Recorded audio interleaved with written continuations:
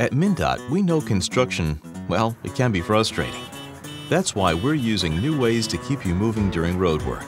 We'll help reduce construction delays along Interstate 94 between St. Paul and Maplewood in 2016 and 2017 with a construction tool called a movable barrier. A movable barrier adds a lane when and where it's most needed. We know this part of I-94 is most congested during the morning rush hours traveling into St. Paul. The same is true for the afternoon rush hours driving out of St. Paul and toward Wisconsin. When construction conditions allow, drivers will have three lanes going into downtown St. Paul during the morning rush.